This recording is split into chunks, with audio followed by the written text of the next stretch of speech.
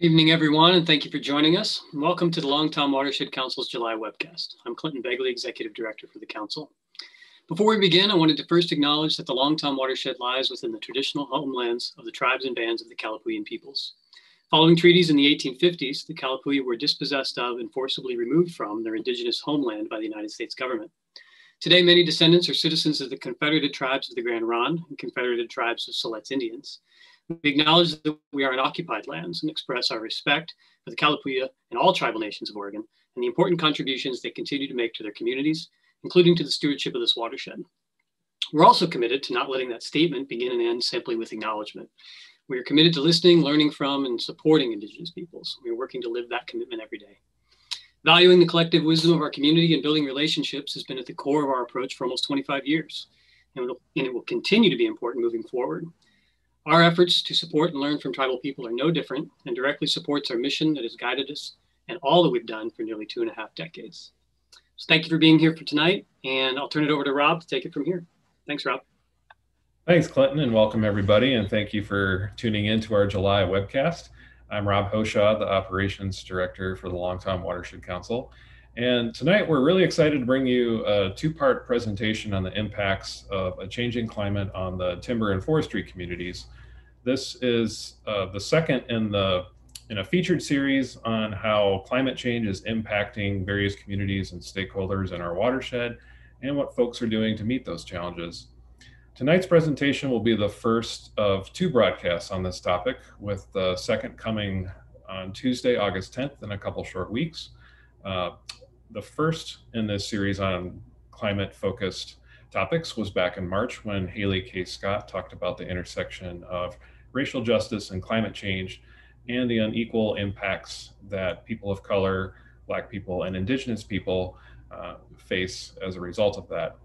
A future installment coming later this winter will look at the impacts of climate change on the agricultural community. This is an important topic for the council because forestry is a really significant part of the Long Tom watershed.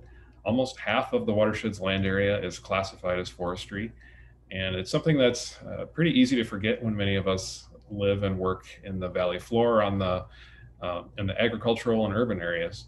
Uh, the products that come from timber are a really important renewable resource that touches all of our lives in a multitude of ways. But climate change is creating challenges for those in the forest and timber community.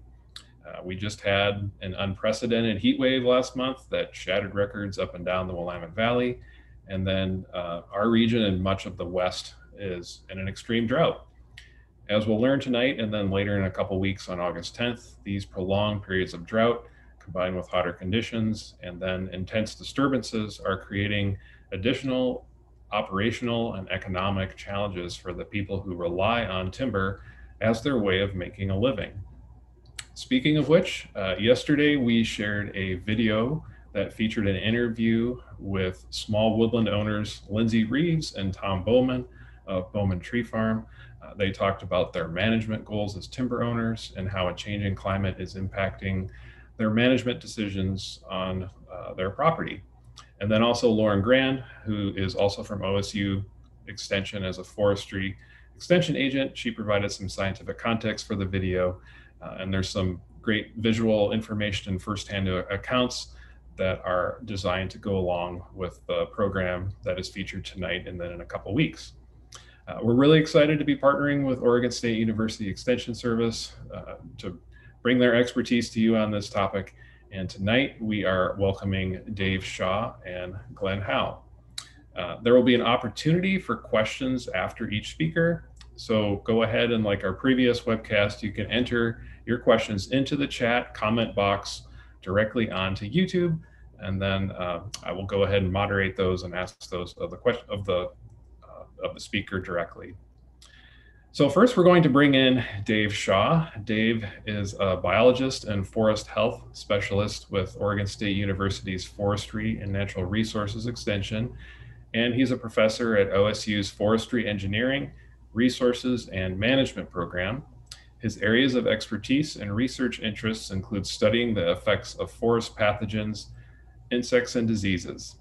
And so he's here tonight to talk about how climate change increases the susceptibility of forest infestations and why pests and disease increase with hotter and drier conditions. Welcome, Dave. If you haven't already, go ahead and turn on your camera and microphone and uh, feel free to take it away. We're excited to have you.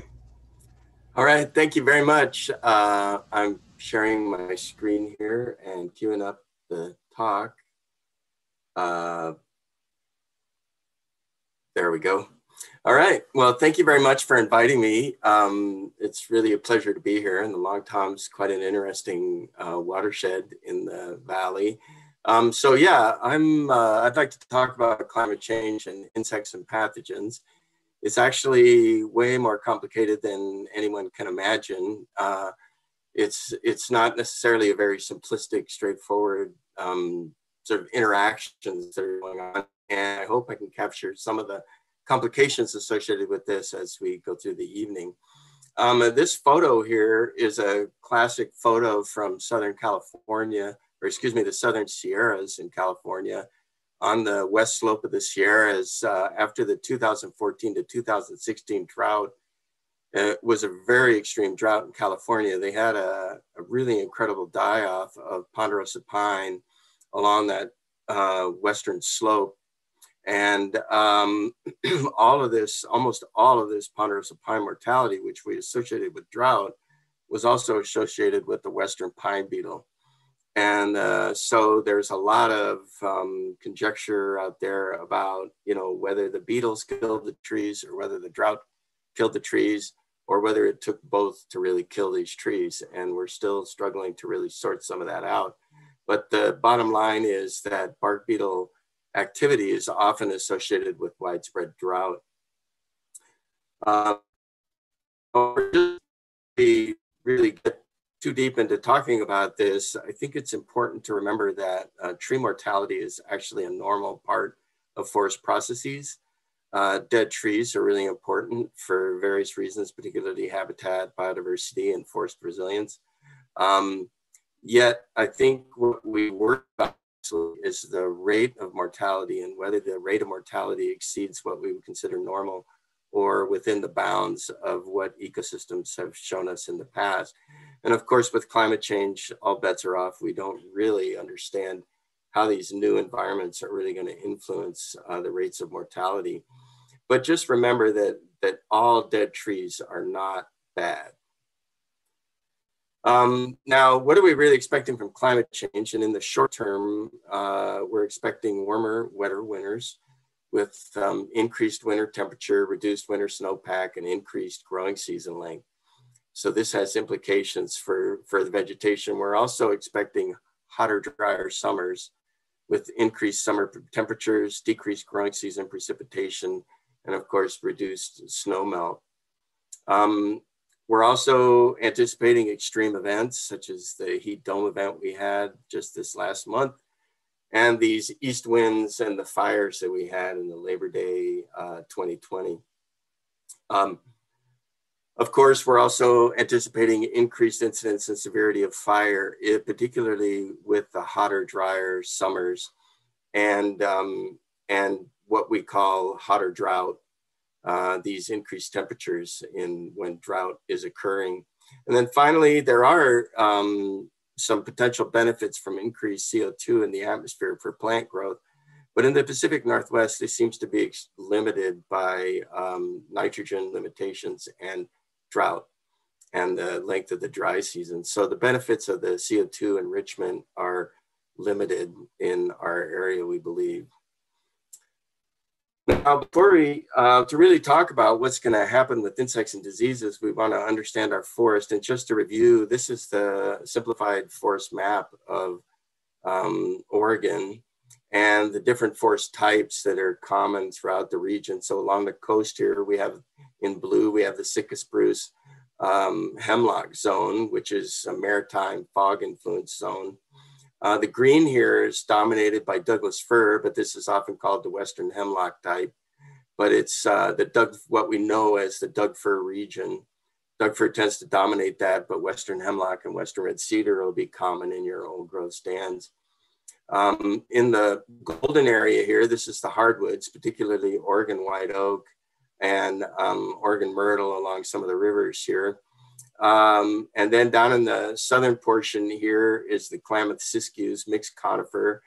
And along the higher elevations, in the purple here, we get our true fir and uh, spruce forest and also mountain hemlock, true fir mountain hemlock forest, excuse me, not spruce. Um, and then uh, on the east side here, we get our ponderosa pine stands in green, uh, lodgepole pine dominated stands in these gray areas within the green.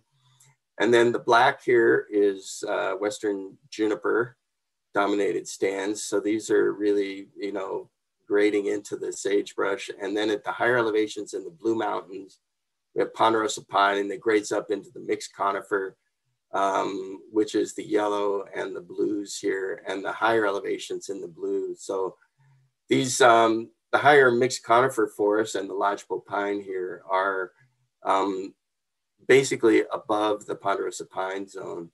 Now, with climate change, then of course we're expecting, you know, influences across the region, but it's uh, hard to generalize across the entire region because of the diversity of forest types and the diversity of the landscape and the and the landscape uh, history. So uh, as we move through this, though, I just like to refer back to you know what's happening within the state and um, some of the things that we anticipate will will happen. One of the other things really, you know, really start talking about insect and disease influences is how these vary with landscape setting of the stands and in mountainous stands. I mean, excuse me, in mountainous landscapes, there's a lot of variation and there's a lot of variation in composition of the forest and a lot of variation in how cold air might move down the mountain. You get these cold air drainage, you get uh, fog and other uh, high humidity areas down where you get a humid air pooling and that kind of thing. And all of these in the past, we used to think of these as these cold, cool air pooling zones as areas where foliage diseases and rust diseases and things might be more important. However, now looking into the future, we're starting to think of these as stand areas where we, the stands might be more buffered from extreme events like heat domes and things like that. But the complications that arise from uh, landscape complexity really makes it difficult to predict how exactly insects and pathogens are going to interact with the forest on a landscape scale. So um, much of what we see might be, you know, patchy at first on various landscapes. Um, so uh, anyway, this is a just another thing to consider as you start thinking about how insects and diseases are going to be interacting with um, forests in the future and climate change. Another important thing to think about, and this is a west side map of uh, Oregon and Washington, and it has the three, we've lumped things into three age classes here, young trees under 50 years old, which represent about 40%, 41% of the landscape now trees that are about 50 to 250 years old, and that's another 53% of the landscape. And that's in yellow there. And you can see it's concentrated down in the Klamath Siskiyou country and along the Cascades. And then the old growth, which is older than about 250 years, only occupies about 7% of the landscape on the west side now.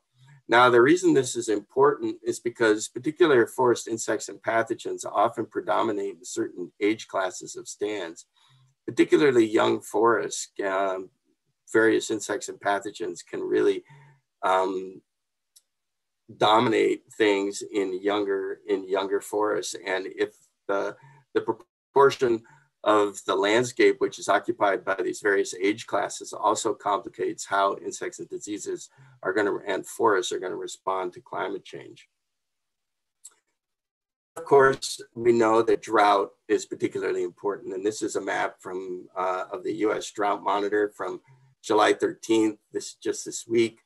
Um, you can see in Oregon here, the exceptional drought is now occurring across the east side along the east slope of the Cascades and down into the Klamath region where we know there's really significant effects on water. Um, we're starting to see an intensification here in the Willamette Valley in the southern Willamette region. And of course, down in South, Southwest Washington, excuse me, Southern Oregon here, we're seeing some impacts of drought also. And we've been seeing this over the last few years. In the right corner here, this is a, a, a Western USA map from the same day. You can see that in California, things are really starting to look bad. And uh, particularly in the Four Corners region, they're really having a hard time with drought, although the monsoons have started to hit and may uh, moderate some of that effect. However, this is a time series for starting in 2000 and going through 2000 or to the current um, drought that we're in. And this is the proportion of the state in various levels of drought. Um, so for example, here in early 2000 or in mid 2001 or end of 2001, about 58% of the state was in what we'd call extreme drought. But if you notice, basically since about 2000, all the way through to present, we've essentially been in a drought. We've had some years of no drought, but it's been very few compared to what we've been seeing. So the last 20 years has been really significant in terms of really uh, starting to put the squeeze on the West and on Oregon also from this from this drought pattern we we seem to be stuck in and which may be the future. Um, now, to really start talking about insect diseases, of course, we didn't really want to get bogged down in all the specific insects or diseases or pathogens or whatever that are out there. So what I thought would be helpful is just to talk about some of the major pathogen groups and then discuss how these might be affected by climate change. So one of the major pathogen groups, root diseases, and these are um, usually fungi, and uh, there's often associated to stress, although not only through not only stress, but because some of them prefer vigorous trees or vigor doesn't matter, but also root contacts. Then we've got the stem decays. These are wood decays of live trees, often associated with wounding, but can get into trees through branch stobs and such. Foliage diseases are another important pathogen group, and these are often associated with precipitation, especially during spring and summer, uh, things that cause leaf wetness. Uh, canker diseases that are pretty common, particularly annual cankers, um, which are caused by fungi and other, uh, caused by fungi, are often associated with stress and wounding. So these can come up during severe droughts. We start to see more of these. Rust diseases are another group. These are uh, specialized fungi that have uh, very complex life cycles. And these are often associated with the seasonality of precipitation, and they can have wave years during certain years where they're they really increase in abundance associated with just some key uh, precipitation events during the year. And then finally, the mistletoes. Um, and contrary to what a lot of people might think, mistletoes actually prefer the most vigorous hosts, and they're most abundant on the biggest, most vigorous trees. But of course, with time, they may cause a decline in that tree. Um, as far as some of the more important insect pest groups, uh, bark beetles, of course, are one of the number ones. And, and uh, this, again, is related to stress and often is related to stress and low vigor, but they can outbreak and attack healthy trees under current certain conditions. Uh, wood borers that we tend not to think of really primary killers of trees, but we're seeing that in these seriously stressed trees that we've come, been coming across in Western Oregon, the Douglas fir, for example, wood borers are starting to become more important and are showing up on these live trees that are just under severe stress. Defoliating insects such as the Douglas fir tussock moth or the western spruce budworm or pine butterfly, these have really complicated relationships with climate and, and it's very difficult to just uniformly say they're going to respond like this or that, depending on um, climate or weather, uh, because it can be very complicated. We have seen some relationship with droughts preceding outbreaks, but this implies that the drought ends and you know foliage is put on by the tree, and then you get these outbreaks. But this is still uh, something that is very complicated. We don't have any um, you know sort of uniform ways to think about these with climate. The same thing with aphids, adelgids, and scales. It's also really complicated. These are insects with piercing, sucking mouth parts that um, uh, feed on uh, leaves and phloem of small twigs and such. Um, terminal and branch insects, uh, these are often associated with high stress because they can overcome the vigor of the trees and burrow into branches and tops and that kind of thing. These would be things like the Douglas fir uh, weevil. And then uh, things like pitch moths and other things that attack the bole often are associated with wounding. So this is just a quick review of these kind of groups. However, what I really want to emphasize is that there's winners and losers depending on what happens next with the climate.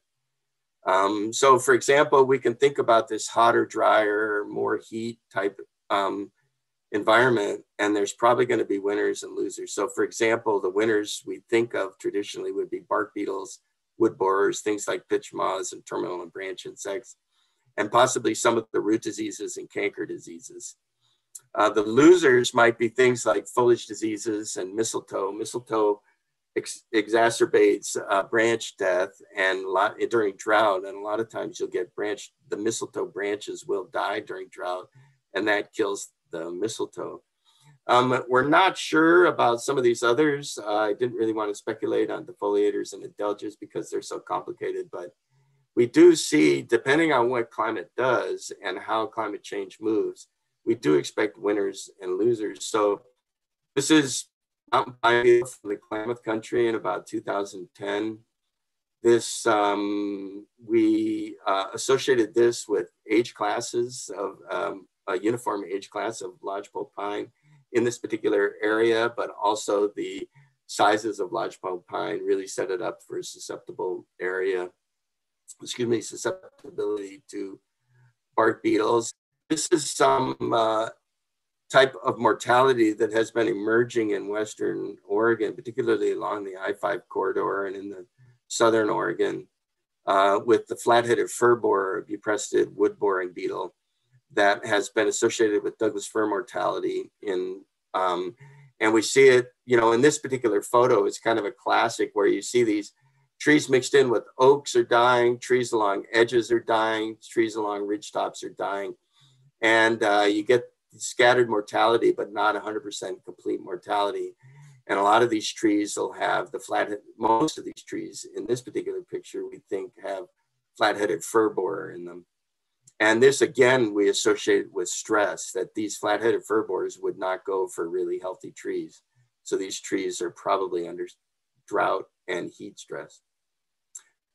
Another one pathogen that we think is may accentuate its impacts um, because it's known to build up in maladaptive tree populations and trees under stress is armillaria root disease. This is a fungus. It's also known as the honey mushroom.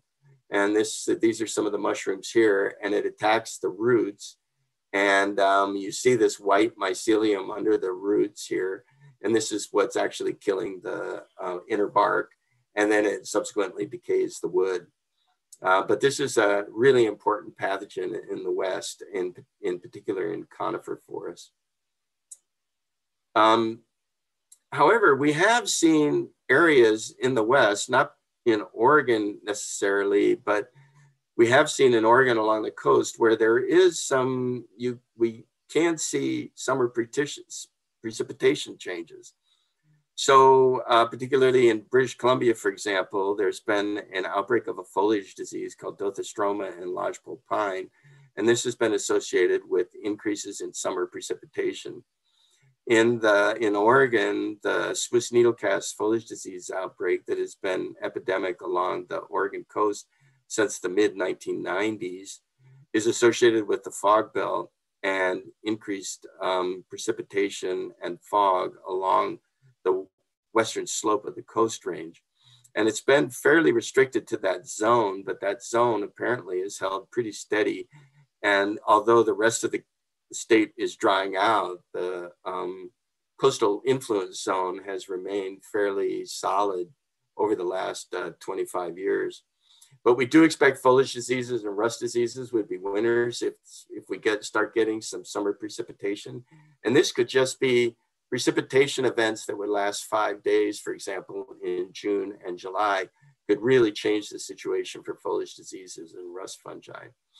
Um, losers might be bark beetles because the trees are much more vigorous if we start getting more summer precipitation. And again, uh, things get complicated with some of these other groups. Um, this is uh, Swiss needlecast in Douglas fir along the coast near Tillamook. Um, you can see this chlorotic looking foliage here. This is yellowish foliage. It's all Douglas fir on a southwest facing slope. And in between there are the hardwoods, the red alder, and then uh, Sitka spruce and western hemlock. And some are these green trees here. But the yellowish trees are all Douglas fir. And this is associated with um, mild winter temperatures, warmer winter temperatures, um, and uh, leaf wetness during May through August or July. Particularly July seems to be a real crux month if we get a lot of leaf wetness from precipitation or fog or some other factor, it can accentuate these diseases. So um, the other thing that um, interacts with a lot of these events is the pre-existing condition of the tree. And uh, in, in particular, things like root diseases, might, this is a Douglas fir here that had laminated root rot. The tree fell over uh, with a green crown, but uh, the roots ripped off as it went over and it obviously couldn't uh, sustain the weight of the upper crown. And uh, if a tree has one or two of its major roots compromised by root disease, when a drought comes along, it's definitely going to be more stressed than a tree that has a healthy set of roots. So pre-existing conditions in trees often influence their response to things. And um, it's difficult to actually know what all the pre-existing conditions are in a tree. But in the case of this tree, you know, bark beetles were probably, uh, you know, followed the root disease. And a lot of times root disease trees get attacked by bark beetles in preference to other trees. Um, now we've also started to experience some in the last couple of years some extreme events up here in Oregon, and the one the one closest to home here uh, that just happened was the June 26th to 28th or 29th extreme heat event that we had. We're not really sure the full implications, but we've started to see this crown scorch, and this is a picture from the Toledo area over on Highway 20 and as you're driving from the Newport to Corvallis, for example, you really see these uh, this scorch on these trees in this area. And these Douglas firs are these are all mostly Douglas fir, and they're heavily scorched on the south and southwest side of the tree crowns. So the trees that were exposed really, really took took a hit, and the foliage apparently has been killed, but it tends to be only one-sided on these crowns. So we're not really sure the full implications of this. These kind of events combined with drought could lead to a delayed mortality. And we would anticipate wood borers and possibly Douglas fir beetle might be associated with the mortality if it does occur.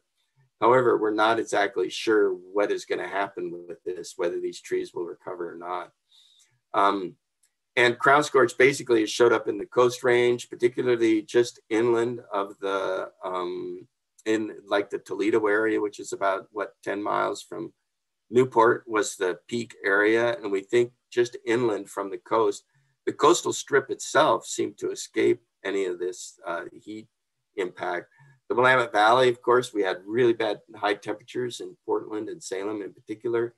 And there's scorch of city trees was fairly common, particularly over parking lots and roads. And then in the um, foothills of the Cascades, we've also seen scorch um, where it looks like the current year foliage, the new foliage actually survived and the one, two, and three year old foliage was killed. So it's been very complicated. However, this is one of the things that is sort of the wild card for us in the future is it looks like the footprint of extreme summer heat in the Northwest, uh, this is a NOAA uh, figure, is increasing. Um, and we don't even have the 2021 event on here. Um, and it was probably, you know, 90 to 100% of Oregon, Washington, and Idaho were affected by this event. Um, so if this does continue, uh, like we have extreme footprint, um, or excuse me, extreme events like this into the future, um, becoming more common, then the interaction with insects is going to and diseases is going to become particularly important. But we don't really understand completely how the diseases and, or excuse me, pathogens and insects are really going to interact. And I think this recent event is going to give us some insight into that over the next six months or so. Um, also, the other thing that we're dealing with is the potential of these crazy, you know, dry, hot, strong east wind events during the fire season, like we had over the Labor Day in 2020, when we had all of these fires. This photo on the lower left here, you can see the fires were burning across Oregon and Northern California, and the wind was blowing from the east, so all the smoke uh, went out over the ocean. Of course, that changed after the wind patterns changed and we got smoked in for a while. But this kind of thing and the interaction with insects and diseases and fire is very complicated. Um, there's a lot of speculation that Douglas fir beetle may increase in abundance because of the propensity for a lot of trees to be wounded in ground fire and that kind of thing. And this may be exacerbated by some of the um, uh, snow snow uh, event we had where a lot of trees came down in the snow. And we had an ice event, a lot of trees came down in the ice. There's this thinking that the Douglas fir populations are high, although we don't have data for this. And there's a lot of speculation about it, but it's possible that these fires could exacerbate insect issues. Um, okay, so uh, management for all of this, for drought, insects, and pathogens, end label is sort of this classic, it depends. And it depends on all of these caveats that we were discussing, landscape, um, you know, shape, you know, topography, elevation, aspect, um, cold air drainage, landscape features.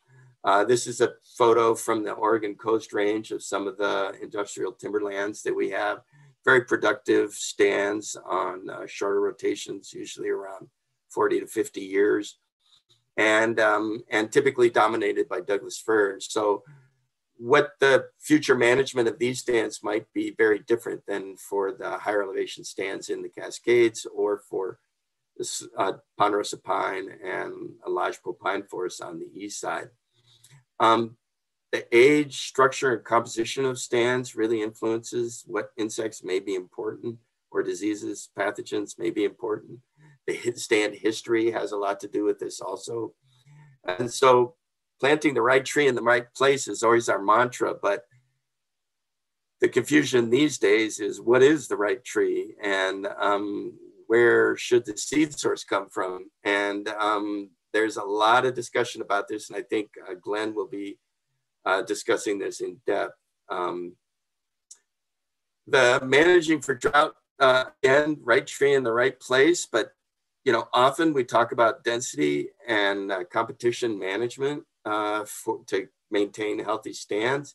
Um, inland, we would, you know, inland from the coast or whatever, we would really think that maybe we should be shifting to drought tolerant varieties and species. However, this is becoming um, much more complicated than we realized. And with the hotter drought, we're uncertain about our thinning protocols from the past applying to the future. And these thinning protocols are usually having trees evenly spaced, widely spaced, giving them room for water and um, other, you know, room to grow kind of things. But what we're concerned about now is how this might influence ground temperature, might influence crown exposure, and whether there is a silviculture for the future that may involve more complicated thinning regimes to try to um, you know, create more heterogeneity in canopy structure and not have even structured, uh, widely spaced crowns that could be more susceptible to these extreme heat events. And this is all conjecture on my part right now, but um, there's a lot of, of you know, debate right now within the silviculture community about whether traditional thinning is the answer to the future drought and heat problems that we're um, facing. All right, so uh, some conclusions. Uh, weather associated with change is very uncertain, but it appears we're basically heading into a hotter, drier uh, environment in the future, particularly if the last 20 years is any indicator. But as we know, things can change abruptly and, and we, it's very difficult to predict precipitation patterns in the future. We know it's gonna be hotter. Precip is the thing that's really the wild card. Um, drought impacts are gonna vary with the landscape setting and the changing climate, and this is gonna influence the pathogens and pests that are gonna interact with trees across the landscape. So you're not necessarily gonna see, you know, super you know, one thing happening across the entire landscape at the same time. May be more elevationally driven or um, geographically driven. Specifics in, in, and again, specific insects and pathogens were going to vary with geographic location and tree species and landscape setting. Uh, the dominance of one age class and species can exacerbate particular issues. So it's really behooves us to consider uh, diversifying the landscape um, where we can and uh, not allowing um, single species to really, you know, of a certain age class to dominate large areas of the landscape. But again, this is easier said than done. And, um, but it is something to consider. All right. Um, I hope that was a sort of a a short little insight into a topic which could go on for three weeks, but um, I won't do that. Thanks, Dave. That was great. Um, I think it's important to, uh, like what you pointed out, that there's a lot that science is still trying to figure out. There's a lot of variables, and scientists are trying to keep up with the pace of how fast everything's changing. And there's just a lot to to learn and keep up with. So uh, yeah, there's still a lot of unknowns and a lot of uncertainties, and I think uh, that was great to point that out. Um, see if uh, yep, there's a question that came in from uh, the comment section. Do you have any thoughts on the historical pre-settlement vegetation maps that show more oak savanna and less Douglas fir forests below 1,500 feet in elevation in the Willamette Valley? Yeah, that's a really significant thing. I don't think people tend to realize that the Willamette Valley was basically fire adapted communities. Um, oak and some conifer existed. You know, there was more, there was Willamette Valley, ponderosa pine was also around. Um, and I think that's very significant over the, the since um, fire suppression, Douglas fir has really moved into a lot of the oak forest region. And um, due to just the luck of sort of where the rainfall was in the in the period, you know, in some of the periods there, particularly in the 70s and 80s, and uh, so yeah, the Douglas fir has really moved in in some areas. So now we're we're seeing this same Douglas fir that moved into these areas that were dominated by oak woodlands is where we're seeing a lot of this mortality.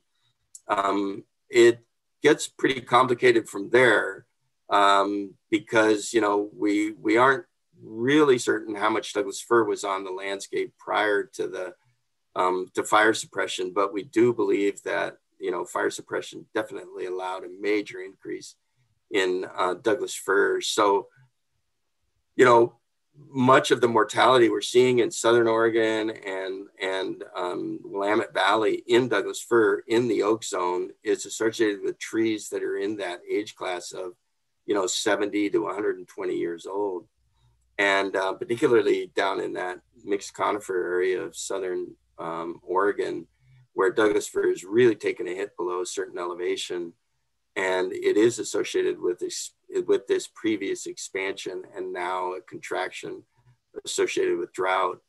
And the role fire would might play in all of that is really complicated. We assume that the, you know, particularly in the lower elevation oak stands, that fire return interval was, you know, less than 20 years or maybe even less than that. And um, and now, of course, fire suppression has really prevented any fires. So uh, I, I don't want to belabor this point too much, but yeah, I think it's very significant, and I think it has a lot to say about some of these mortality, um, ge- geographical mortality patterns that we're seeing with Douglas fir. Yeah. hopefully I answered that all right. I started meandering there a little bit, but no, that was great. Yeah, thanks to whoever asked that question. Um, you, you, mentioned it a moment ago, and you also had on your slides about uh, mortality or susceptibility to pathogens and insects. It can be uh, correlated with age a lot of times, and that younger trees tend to be more susceptible. Well, oftentimes, could you explain for folks what causes that? Yeah, so um, you know, it's it's um, there's various insects and disease which would you would find more prevalent in young stands versus older stands. So in terms of insects, for example, we tend to get more aphids and adelgids and those kind of things in young stands, and they they might dominate the canopies. Whereas in older stands, you'll get a much more complicated uh, insect community. Um, in you know root diseases in young stands um, that might be persisting on stumps that then spread into these even structured stands. They often spread uh, best in, in these younger to um, moderate age stands which are you know even um, the, a single species stand with lots of root contacts and grafts. Whereas when you get into an older old growth stand there's still root disease for sure but it doesn't necessarily spread as easily as it does because there's more species diversity in the below ground uh, root to root contacts and that kind of things. And Western red cedar might block the spread of a disease from Douglas fir to a Douglas fir, uh, whereas in younger stands, they can spread tree to tree. So, um, and some of these root diseases uh, and foliage diseases we've also seen, they tend to be um, exacerbated in younger stands just because it seems like the, the uniformity of the canopy provides much more uniform. So we see more of a uniform distribution of disease in these younger stands than we do in older stands. It's not to say the same fungi aren't present in the older stands. They just might not be causing the same amount of damage because it's not as a uh, um, homogeneous type of environment for the fungus. So um, these younger stands, then you can get a buildup of some of the um, diseases, but um, in older stands, they're known to be, you know, in the, the old term, they used to call them decadent because they had a lot of heart rot and wood decay and gappiness in them. And that's true. In younger stands, heart rot has essentially been eliminated from the plantations management. You know, heart rot's a non issue for industry in the west side but yet it in stands over 120 to you know 400 years old. You know heart rot might be really common in those stands but there it ends up being really important in habitat. Um, live trees with wood decays are particularly important for wildlife. Um, so you know there's all these complications uh, in terms of what you might find more abundant in an old growth stand versus um, what you might find in younger stands. And um, i think it dominance of any one age class over or any one species over you know any one species which in, in a similar age class is really what we're trying to avoid i think it just is um, you know in terms of forest management uh, i would recommend that i guess I don't know if I answered that as eloquently as I was. No, that's great. To, yeah, yeah. Thanks for explaining that because I, I asked you that the other day when we were talking, and I was thinking at first, oh, that seems a little counterintuitive, and then when you explained it, it makes a lot of sense. So I think that was helpful information. Clinton, did you have a question? Yeah, and I'm going to show my uh, lack of knowledge in this area, but I was curious if you could talk a little bit about, um, you know, how permacultural ideas, um, mutualisms between species um, might be a part of ongoing and future forest management to become to have more pest resistant stands. You spoke to it a little bit just now in terms of age class. Then, sort of on the other side, um, you know, how, what are we learning from some of the genetically modified uh, nursery stock? Learning from row crop uh, to make pest resistant uh, nursery stock. Are these things? I'm assuming these are things, but I just don't know much about them. How are these things being thought about in context of climate change? Yeah, so that's a million dollar question, of course. Um, but uh, yeah, so I think we we um, in the Pacific Northwest, you know, the, the, the landscape is dominated, forest management is dominated by native species. And so, you know, we have Douglas fir, Western hemlock, Grand fir, sitka spruce on the east side, ponderosa pine, Western larch are the top, you know, species that people grow. These, because they're native trees and typically in their native region, the benefits of mycorrhizae and various other symbionts and those kind of things are, are real. And I think there's sort of something that we just take for granted and um, it's something that I think is really important. And so I think our forestry stands are actually, you know, more resilient because of these native, you know, symbioses that we know occur. Um, when we begin to consider shifting to either, you know, non-native species or eucalyptus or something like that, then you begin to you know approach agriculture a lot more and where the, in those kind of cases you know manipulating and um, mycorrhizae and various other kinds of symbionts for those trees might make sense but in the northwest we're sort of blessed with it just seems to happen because you know the stands are surrounded by other douglas fir with mycorrhizae and the spore dispersal and other things are happening. So we've kind of we're kind of blessed in the northwest with um, the benefits of these kind of things being normal. And I think as you know, depending on what happens in the future and what what people decide to plant, that's really important. Um, and as far as the GMO thing goes, um, it's not really a topic in the Pacific Northwest in forestry that I'm aware of. I think there's a few people talking about it, but it's thought that the public reaction to GMO trees would be so negative that nobody even wants to talk about it.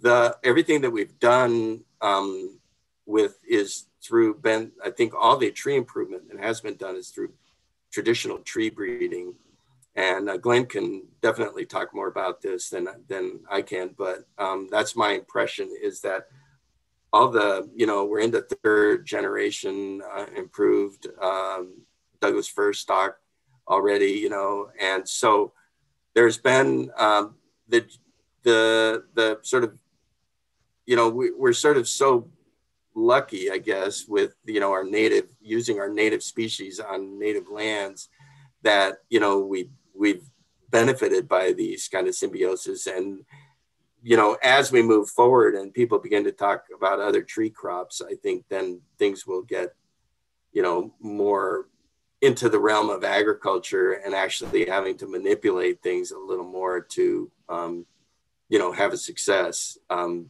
uh, but you know i think plant adaptation and climate change is going to force a lot of rethinking of you know a lot of what i said probably um, but um, you know it's really hard to predict the future but i'm hopeful that our native species can kind of hold their own and we're not going to have to you know you know, replace all of the Oregon vegetation with some other vegetation. I just don't see, you know, how, I mean, I think that's a worst case scenario, obviously, and we don't know where 100 years is going to bring us, but I'm hoping we can stop the carbon dioxide at some point. Anyway, a great answer. Thank sorry about that. No, I appreciate you tackling it. Thank you.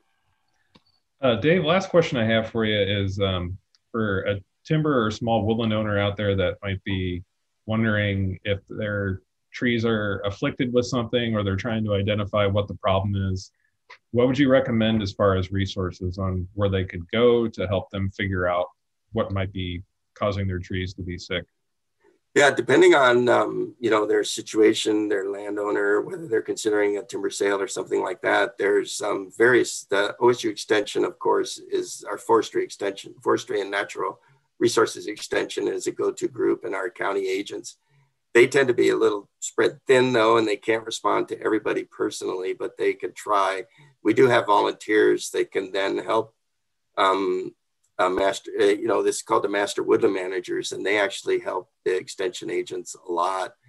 Um, there's Oregon Department of Forestry also, they have a really good forest health group uh, based in Salem. There's four people in that group, I believe, and they um, uh, they also have their stewardship foresters, and the stewardship foresters are very knowledgeable. Many of them can help diagnose issues in the field, and particularly if you're you know looking at a forest management plan. Um, both Stewardship Foresters and uh, Forestry Extension can help with that. Um, there's also a format called X, Ask an Expert, and uh, that's a web-based thing that um, you can go through through extension, and it's always really helpful to uh, include photographs when you ask a, do an ask an expert question. If you do have a specific problem, you're looking for an answer particularly if you can get like a context photo that shows the situation the tree's in with a little bit of the landscape around it and then the particular the particular close-up of what's the problem with the tree oftentimes we can uh, diagnose things through ask an expert and uh, people can get answers through that. So that's a few ideas. Um, i think in oregon we're actually pretty blessed. If you're a federal uh, Forest Service with the Forest Service or with BLM or with the tribes or the National Park Service, the, they have a, a group called Forest Health Protection, and they have uh, forest entomologists, forest pathologists, and ecologists spread through the region. And you can uh, go to those group, the, go to that group for answers. And there's uh, Forest Health Protection has a great website. OSU has good websites too. For there's a lot of information online about insects and diseases, but sometimes it can be really difficult to navigate. Uh, there are some field guides that um, there's a new field guide coming out for insects and diseases pretty soon for Oregon and Washington conifers, that is. And um, so, yeah, there are a lot of resources yeah. out there. Great. Yeah, that, that helps a lot. I think that'll uh, be a lot of good resources for folks, and uh, we can share some of those on our website so people can link directly to them. Yeah, thanks right. so much, Dave. Um, okay. Yeah, so next here, um, we're excited to welcome Glenn Howe. Glenn is an associate professor at OSU and the director of the Pacific Northwest Tree Improvement Research Cooperative. And his research focuses on the breeding, ecological, genetics, and genomics of forests. And that includes growing our understanding of climate associated patterns of genetic variation, physiological adaptation to climate, and assisted migration. Welcome, Glenn, and thanks for being here. Okay, um, I'll see if I can um, get things going here in terms of sharing my presentation.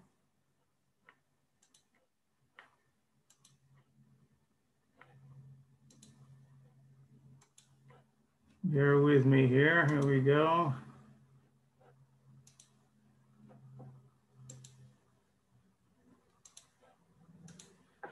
Okay, how are we looking there? Looks good. We can see it. Okay, well, good. So can I. So we're in, in good uh, in good shape here. So thanks for that introduction introduction, and, and thanks, um, obviously, for the um, uh, opportunity to speak today.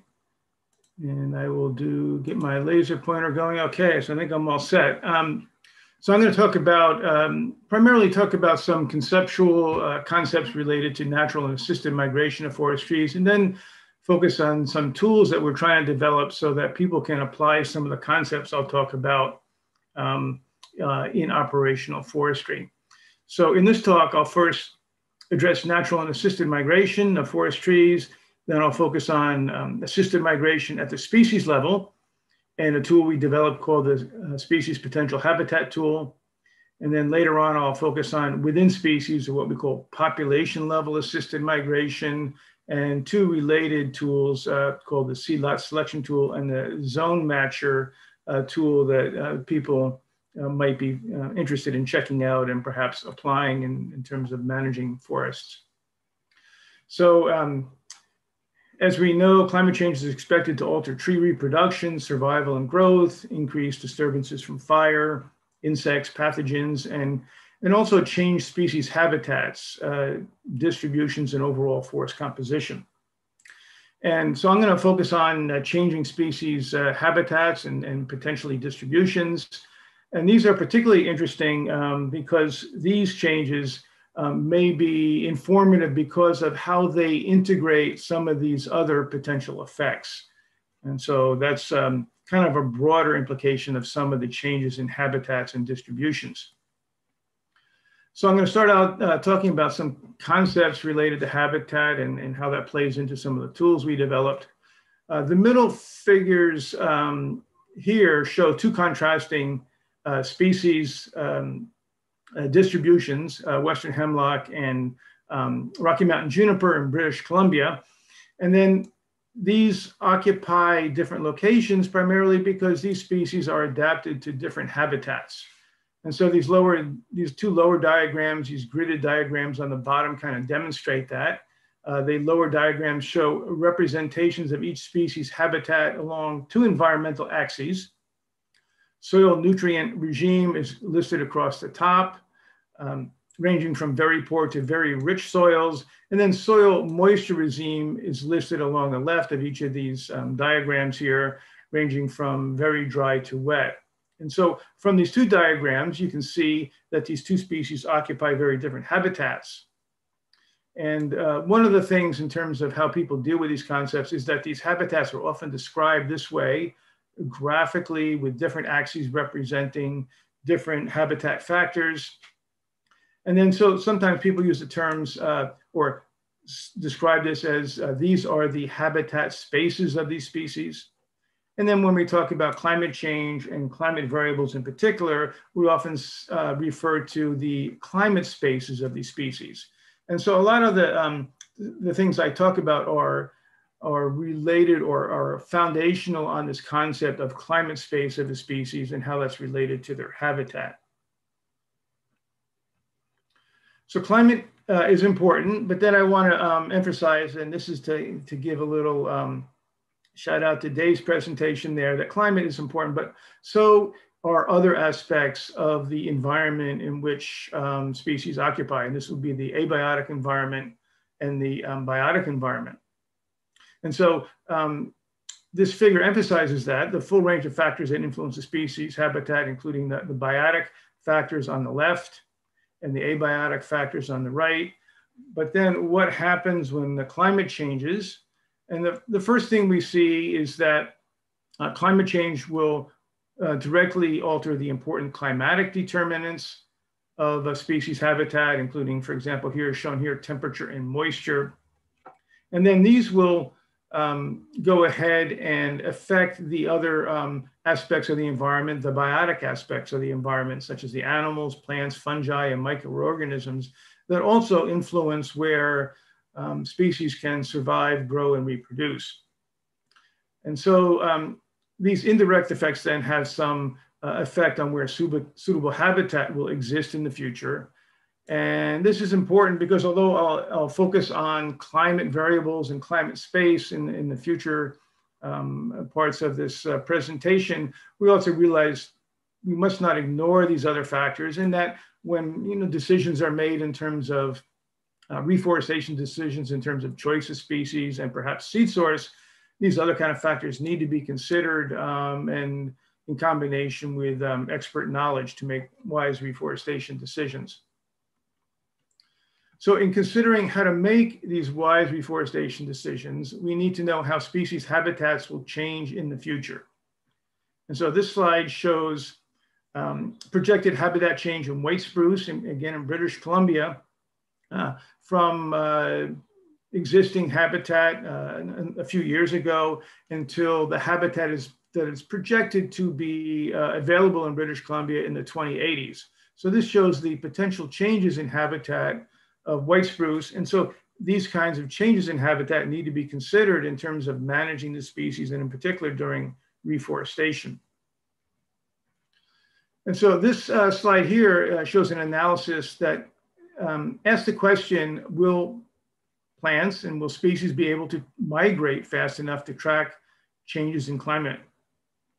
And so this analysis shows the speed of climate change for areas of the globe inhabited by various biomes.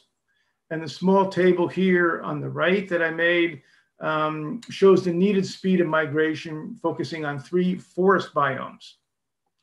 And so these changes in climate then um, are estimated to be about 110 meters per year for temperate conifers, um, ranging up to about 430 meters per year for boreal and taiga, um, the, the boreal and taiga biome.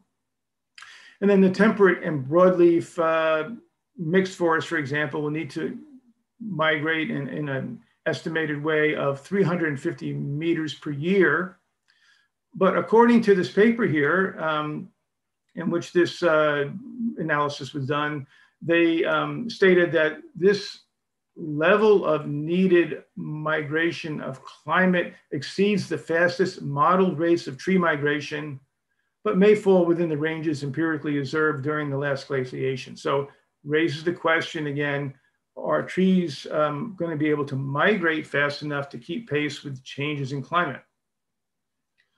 And this is another paper that summarized similar studies across a large number of tree species. And what this study did in terms of um, analyzing a lot of different studies themselves, they found that a high percentage of uh, species show evidence of recent migration, presumably due to recent climate change, representing um, ranging from about 23 to 84% of the species showed some evidence of recent migration. And then furthermore, the proportion of species that seem to be migrating uh, fast enough to keep pace with climate change was not very high. So no more than about 22% then of the species that are studied that were where they had definitive data um, seem to be migrating fast enough to keep keeping pace with the change of climate. So again, these last two slides are, are designed to emphasize the real concerns about uh, tree species' ability to migrate fast enough to keep pace with uh, the current or projected rate of climate change. So how do we, I just want to touch briefly on how we project uh, where species can occur in the future, because this gives people an idea about the limitations and uses of these kinds of data.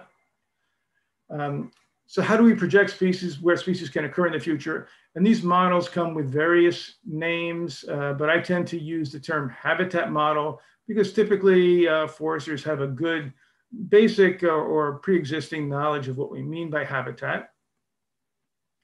But generally, um, this slide here shows a graphical representation of a typical approach used for um, species habitat modeling. And so the upper left figure shows the sampled locations that are used to understand where a, current, a species currently exists. And then this panel here um, represents the various climate and other kinds of environmental variables that are believed to be important drivers of the distribution of the species. And then by taking these existing current um, sources of information, one can develop a mathematical model that can be used to predict where these species, um, where the species occurs based on these environmental variables, including climate. And so these two pieces of information are combined to develop a mathematical model. And then that can be used to predict where the species is located on the ground so that species distribution can be inferred without actually measuring the species in the field. And when you can do that, then you can replace these existing uh, climate and other environmental variables with projected climate of the future and come up with projected areas where habitat will occur in the future. And that is shown by this bottom figure here. And in this case, the, um, the light gray indicates unsuitable habitat for this particular species. And then the dark gray indicates suitable habitat. So the development of these kind of models is kind of critical for trying to infer, um, in many cases, where species habitats are likely to occur in the future. Now, the important thing we have to realize is that because the habitat exists there, that doesn't necessarily mean that the species will exist there. It may be that they cannot migrate there, or there may be other non-climatic factors that prevent them from occupying those areas. So again, we always need to remember that we're projecting uh, potential habitat and not actual species distributions. So then how can forest managers respond to this kind of information? First, you'd want to choose appropriate species um, in terms of um, favoring uh, during management operations or during reforestation. And then particularly if you're practicing artificial regeneration, you want to make sure you're choosing appropriate seed lots for the particular site that you're dealing with. So first step, choose appropriate species. And here's an example of um, some modeled species distributions. This is a modeled Douglas fir distribution as it existed uh, a few years ago in 2012. And then at that time, they projected that this would be the um, habitat of Douglas fir in about the 2030s. And so in these kinds of figures, and these red areas here showed show areas where habitat is expected to be lost um, within this future time period. And the green areas show areas where that habitat is expected to be retained. And so this kind of information can be valuable then um, for species uh, making reforestation decisions. And in particular, in these red areas, um, one may want to think about carefully about whether um, new plantations of Douglas fir should be established in those areas. And so this can be very helpful as long as you have um, information of this nature at a sufficient resolution to be more or less uh, helpful in site-specific forest management. Then if, if you've chosen a particular species to either favor or use in reforestation or um, use in artificial regeneration, let's say, you wanna uh, make sure that you choose appropriate seed sources. And this is because not all populations or seed sources of the species are alike. One must also consider the seed source when, when one makes these reforestation decisions. And so this slide shows three provenance or seed source tests, seed source tests. And the picture on the right shows a lodgepole pine seed source test growing in New Zealand. And so what we mean by a seed source test is that seeds were collected from native lodgepole pine populations in Western North America and then uh, grown and uh, followed in New Zealand. And so each of these square plots represents then a single seed source from the native range of lodgepole pine. And so you can clearly see huge differences in survival and growth among these different um, lodgepole pine provenances or seed sources. And then on the left, we see similarly large differences uh, among Douglas fir provenances growing in Spain. So one needs to choose an appropriate seed source uh, and one cannot treat species as if they're homogeneous. So um, a lot of the people who deal with these issues, uh, including myself, believe that assisted migration is, will be a very important tool for, for helping forests adapt to climate change. So very broadly speaking, assisted migration is the intentional movement of species, populations, or genotypes outside of the known historical distributions in response to anticipated climate change. But given that broad definition, we can also think about different types of assisted migration, and this slide emphasizes those. At the species level, um, we can practice long distance translocation of species. So for example, the use of exotic species. And this has you know, biological implications that are very different from what is sometimes called species range expansion. This would be the kind of uh, assisted migration that one would practice, for example, with a native tree species. And then finally, the implications of each of those are different from the kind of consequences um, of practicing what we call population level, um, population level assisted migration, or what is more commonly referred to as seed transfer. And in the Pacific Northwest, then um, either species level assisted migration almost invariably refers to assisted range expansion rather than exotic species translocation. Um, and then we, we often uh, practice a lot of seed transfer within the normal course of forestry operations. So first I'll focus on species level assisted migration and a tool that we developed to help provide people with some of this needed information called the Species Potential Habitat Tool.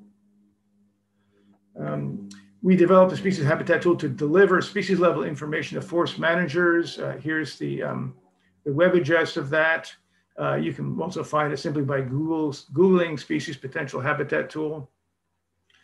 And it is a web-based mapping tool to help forest managers match species with planting sites based on climate information. And it is based on um, modeled species distributions using approaches such as those I described above, by Tong-Li Wang at the University of British Columbia. So users of the tool first select one of these uh, seven species. These are the ones we currently have species distributions available in this tool. And then they would choose a time frame and one or more future climate scenarios, for example, um, in terms of practicing assisting migration uh, to help forests adapt to climate change. So this uh, in this case, the user had selected Sitka spruce. And so what this figure then shows is the projected future distribution of Sitka spruce in 2085. um, using the so-called business as usual climate change scenario, also sometimes called RCP 8.5. And the key things here is that these yellow areas show locations where Sitka spruce is expected, Sitka spruce habitat is expected to be lost. So the Sitka spruce may still be there, but they may not be doing very well. Um, and then uh, in contrast, these blue areas represent areas where, based on these models, uh, Sitka spruce habitat is expected to be gained in the future.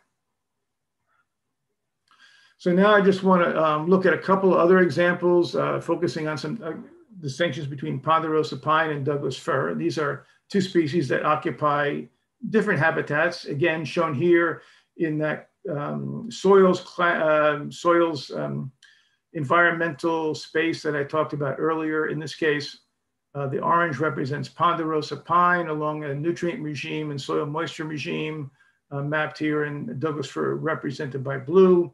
And similarly, um, these two species occupy slightly different uh, climate spaces as well.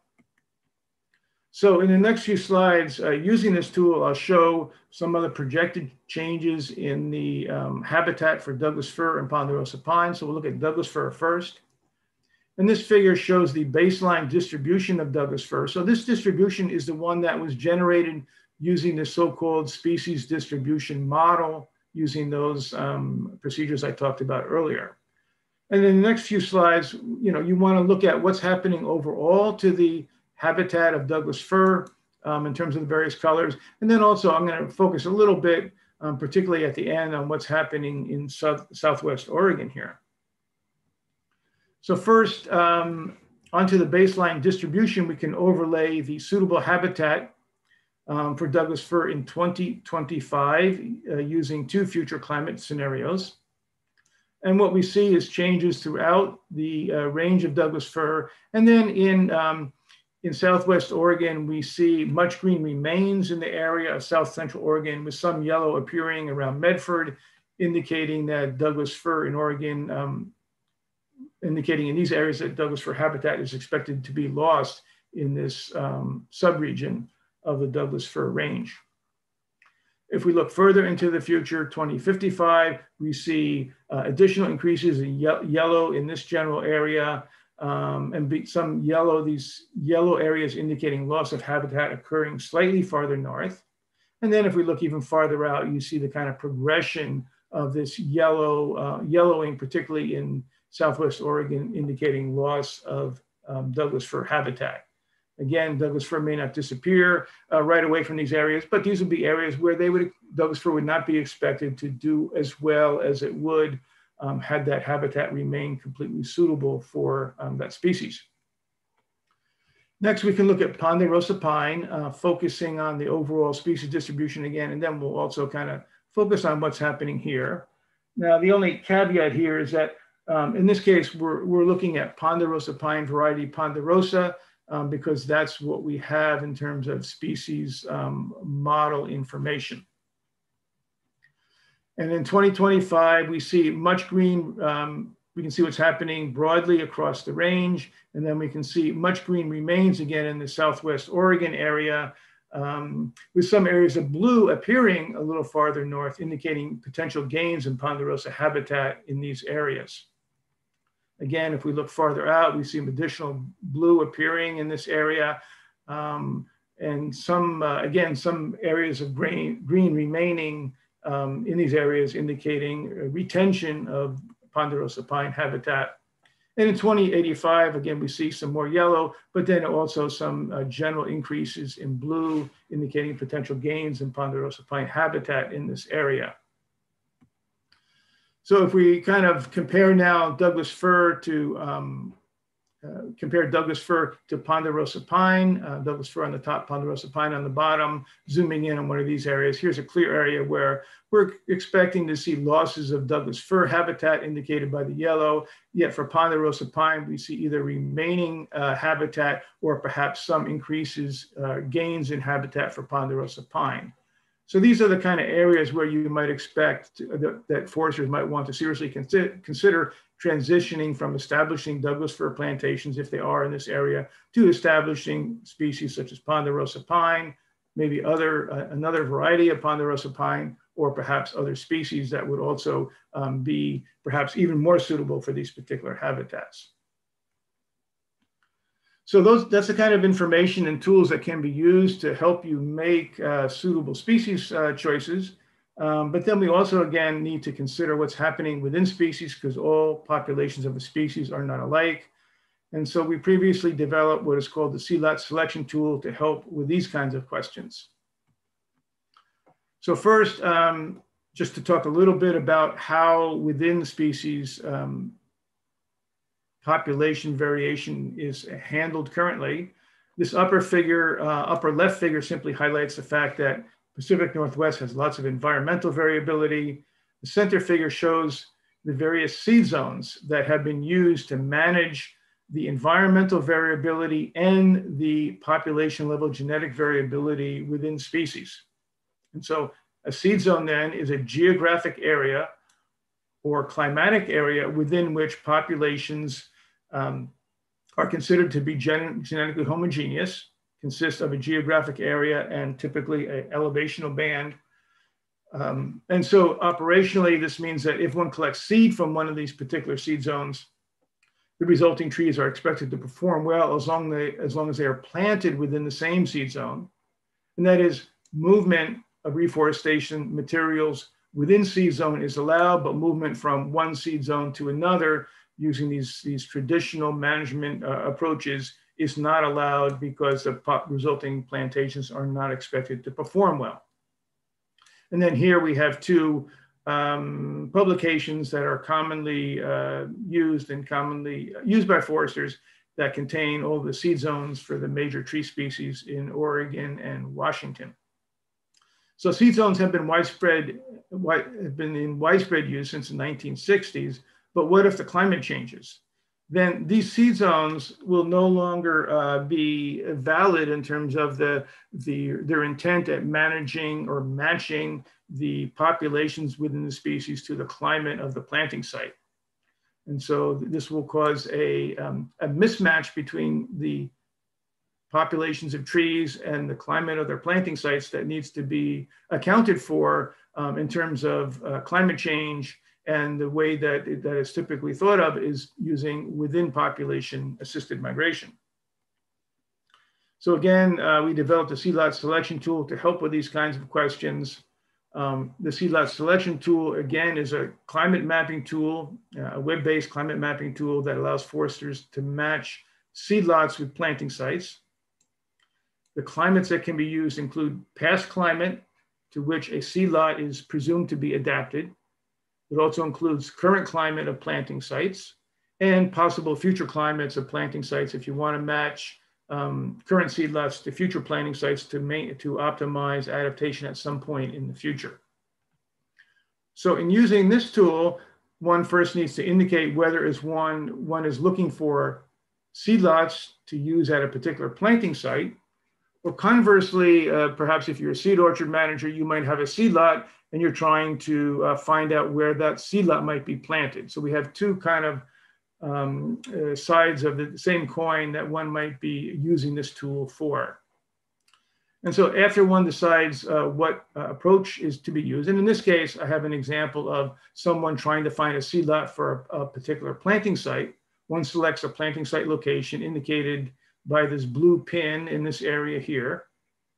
And then uh, one chooses the climate variables to consider. And so in this example, I used mean annual temperature and mean annual precipitation.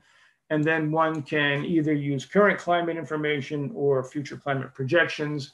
And so what this figure then shows is the areas of um, matching climates to this plantation site. So these would represent the potential areas where one would go to to collect seed for establishing on this planting site. And in these uh, colored areas, the orange represents a better climatic match to this planting site. And the lighter uh, orange or yellow represents um, uh, a less um, good uh, match to this particular planting site. And so this is where someone would go currently. So this kind of climate-based approach could be used instead of the traditional geographically based seed zones. And then in addition, if we look at um, where we might go um, to find seed lots that are adapted, adapted to this planting site in the future, for example, in 2025, we see in general that we would tend to go to areas that are lower elevation, closer to the coast, perhaps a little bit farther south. That is slightly warmer and drier areas tend to be matches in the future for a particular planting site today. And then again, if I look at future climates, you'll see that that same trend continues. We see lower elevation areas closer to the coast, farther south being good matches for this particular planting site in 2055. And then if we even look at out to 2085 using these particular climate um, scenarios, we see only one little spot here, which is a very good climate match for this particular planting site in the future, based on the particular set of assumptions used in this analysis. And then if I zoom in a little bit more, I can see some other areas a little bit farther south from those figures I showed you earlier. So in summary, the, the seedlot selection tool is a web-based tool that shows the locations of climate matches. Um, but the, the one thing about this, it's very good visual tool. Um, you can see what's going on. It is really not specifically designed to find named seedlots uh, for your planting site. So we um, more very recently developed another tool, a companion tool you might think of called the Zone Matcher. Uh, this was developed, um, the Zone Matcher, well, is a web application that facilitates uh, large-scale operational seed deployment based on widely used existing seed deployment systems. So what this does is that it matches um, different seed zones or seed deployment zones that are used widely throughout the Pacific Northwest and find climate matches between those zones rather than um, specific geographic locations as shown in the seed lot selection tool. And the development of the zone matcher um, was mostly done by Meredith McClure as part of her master's thesis at Oregon State University. So really briefly, I'm not going to go into this in much detail in the question of time, but what you can do then is, is rather than entering a particular location on a map, you can enter a named uh, seed zone into this tool, and that's shown up here. This is called the focal zone. And if you enter a named um, seed zone and you provide, um, you want to find matches either currently or in, under some future climate, this tool will, will present a large list of other seed zones or deployment zones throughout the Northwest that have a matching climate. And so you could then use this list here to see if you could find named seed lots that you might establish or use on this particular site. Um, one thing about the zone matcher is that it queries um, various seed zone systems used in California, Oregon, Washington, Idaho, Montana, and British Columbia. So all of those different kind of seed zone systems are integrated in this particular tool. Then let's suppose you find a particular seed lot is available, maybe a seed or maybe a seedlings. Uh, someone is selling seed from this particular seed lot here that is a reasonable match. You can then use another part of the tool to examine closely the climatic differences between the focal zone, the one you're perhaps interested in establishing a planting site in, and the seed lot um, that you found seedlings that someone is willing to sell to you. And you can look specifically at how those two, um, uh, how those two zones match up um, for a range of climate variables, perhaps. So for example, between current climate and maybe some future climate that you're trying to um, match um, to attain optimal performance in the future. Uh, so then both the species potential habitat tool and the seed lot selection tool were developed as a collaboration between the U.S. Forest Service, Oregon State University, and the Conservation Biology Institute. And then the zone matcher was developed at OSU by my graduate student, Meredith McClure, um, with these other folks providing assistance. And that was, uh, this particular one was funded by the Pacific Northwest Tree Improvement Research Cooperative and a grant from Northwest Climate um, Adaptation Science Center. So I'll be happy to take any questions that people might have um, on any of those topics.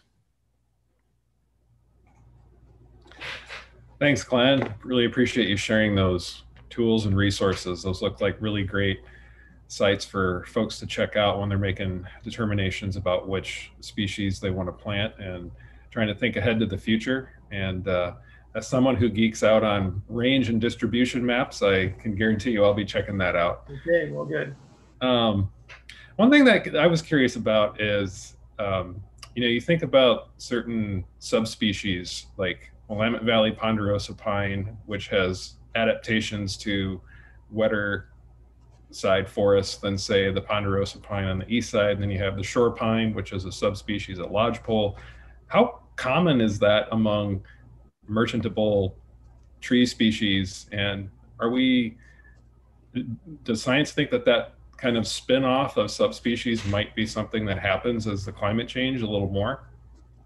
Uh, okay, so I might take the answer to that in a slightly different direction. So yeah, so you, you would typically not think of those as being highly desirable um, from a commercial standpoint. What that means also is that um, you're not going to find improved materials for a lot of those kind of species. Um, as I mentioned, I kind of alluded to in my talk, it means that you're also not going to find necessarily good species distribution information for those species. Those are things that people would tend to are, are working on uh, secondarily. Um, but I think that information is very important, uh, important because we need to think beyond about the commercial applications. And I'm just kind of put that aside for a moment. And you know, based on the information we have about changing habitats, it's not just the commercial species that need to be um, that we need to pay attention to in, to in, terms of assisted migration. So if we want to maintain functioning forest ecosystems in a lot of these areas, we need to be thinking about um, doing this kind of thing for a full range of commercial and non-commercial species in my mind. Yeah, it makes sense.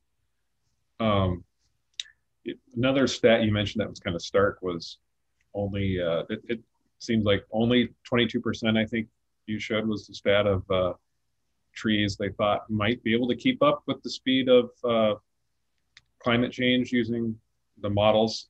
Right. Um, were there any tree species native to our region that seem to fall within that 22%, or do we know yet? Yeah, um, I don't think we, this is really hard to um, estimate. So um, I, I tend not to think about, I mean, there has been some of that work done, but even by some people at OSU, looking for evidence in FIA data about species migrations for a range of species. Um, I tend to I tend to be more of a, a lumper than a splitter, so I, I, tend to look at that information as, in general, what do we expect? I think it's very difficult to tie those kind of responses to particular species. It's very difficult to estimate um, uh, migration speeds. Number one, you know, one one empirical way is to use FIA data, but you know the, the amount of climate change has been pretty modest up until recently, and so looking back empirically does not give us a real good indication of how fast things can go we can look over, use other kinds of approaches to try to infer species migration, but um, typically think about, people think about species migrating in a wave, but they don't necessarily, they often migrate from various refugia. And so it's just, it's really fraught with um, challenges in making those estimates. So I tend to look at it as what do we think in general? And I think there's, you know, increasing evidence that in general, many species are going to have problems keeping pace with climate change. Mm-hmm. Yeah. Um, Clinton, were there any questions on YouTube or any that you wanted to ask? Well, I had a, a, bonus one that came up for me, but I actually I think Glenn may have just hinted at it or, or answered it. I was curious about uh, research into the migration of particular or projecting particular understory associations, classes, and series. You know, are those understory associated species moving linearly with the um, the tree species, or is that complicated? Do we know? Um, so thinking, for example, uh, Grand Fir, Queen Cup Bead Lily Association, if the Grand Fir moves, can we assume that the bead lily is going to move linearly with it, or is it more complicated than that? Yeah. Okay. So um, it's yeah, it's always more complicated than that. Um, so a couple things. One, you know, it's really hard to um, to understand the changes in you know multi-species composition um, you know, we, we maybe talk about, you know, um, habitat types or, or you know, um, you know, up in BC, they might be called, you know, ecoregions or, you know, whatever term you use. It's, it's hard to do that as well. So um, I tend to focus more on the individual species relationships first because I think it's a little bit easier to do that. Um, uh, let's see, the other part you let's say, what else did you, what was you, I think you had two parts to that question. Oh, I think I was just clarifying in the second part, but I was just curious about the research. And as you said, I mean, I know that there's research often driven by the merchantable species, but Yeah, yeah. um, understanding the um, relationship with understory. And so it was all kind of one question. And Yeah, um, yeah, we, we, we, you know, even for these ma- major tree species, you know, we don't know nearly as much as we would like. And so um, I attempted to do that a little bit at the beginning, bringing in some of these other habitat factors. But, you know, even these projections, such as those that we're presenting and people are coming up with, you know, they have, they have wide, wide error bars on them. And, and you need to um, take that into account. And this is even for you know the the the uh, major tree species that have been studied you know let's say from genetic um, genetic standpoint breeding standpoint that have been studied for 50 or more years we still don't even know enough about those to be super confident in what's going to happen and so the the the challenges in doing understory speed it just is just really fraught with with with a whole bunch of hard stuff i mean i think the idea is that um, you know, the seed selection tool is based on um, migrations of climate. You know, I think we, we have a, a fairly, well, even that, we're, we're, gaining a better understanding about how climates might change across the landscape. Um, but it's a whole nother story then to understand how all the different species will act, interact with those climates individually. And then once you put them all together in some kind of association, how they're going to interact. Um, yeah. Understood. Well, and, and for what it's worth, while you were going through the species potential habitat tool, I was playing with it, and I mean, it's an incredibly uh, illuminating tool, and um, I'm excited to dig into it further. So I'm really grateful. For I think at least it demonstrates. I think at, at, a minimum, both those tools demonstrates you need to be paying close attention to this. Um, and, and, doing something, um, you know, um, I had some other slides I gave in other talks, you know, you have a, your target, you know, um, you know, you're an archer and you have a target you're shooting for. Well, you know, the target being current climate is absolutely wrong. You know, we have a lot of uncertainty about where we're aiming that arrow in terms of future climates, but we know that most of those are going to be closer to the reality than than aiming at the current climate. Cool. Thank you for that. That's illuminating. Yeah. Yeah, we'll definitely share those resources on our, our website. We have a, a resources page um, for a couple different uh, habitat types, and uh, we'll put those up there and make sure folks are able to get those. Uh, so thank you, Glenn. Thank you to Dave. Really appreciate your time today and for making uh, this very uh, elucidating and knowledgeable presentation for folks. Um, this presentation will be up in perpetuity on our website and our YouTube channel. That's uh, youtube.com slash Long Tom WSC. And also another reminder for folks, if you haven't checked out the video interview with Lindsay Reeves and Tom Bowman of Bowman Tree Farm, uh, there's a lot of great material that relates directly with on the ground examples of some things that both Glenn and Dave have been talking about. And then uh, Lauren Grand from OSU Extension here in Eugene, uh, she provided some great scientific context to help um, explain some of the things that uh, Lindsay and Tom were talking about. That's a short 14 minute video. It was really well done. Uh, they did a great job. And also want to say thanks to uh, Cliff Etzel of CE Visuals for producing that film. Um, part two is going to be again Tuesday, August 10th, uh, same time, six o'clock. Uh, these broadcasts will be on our YouTube channel and you can watch them at your leisure whenever this is such a complex topic with so much to consider and so many variables as we learned tonight. So we wanted to give it the time and space that it merits uh, because there's just so many things involved with it. And then lastly, I wanted to make a plug for our annual celebration, which will be coming up uh, the last week of September.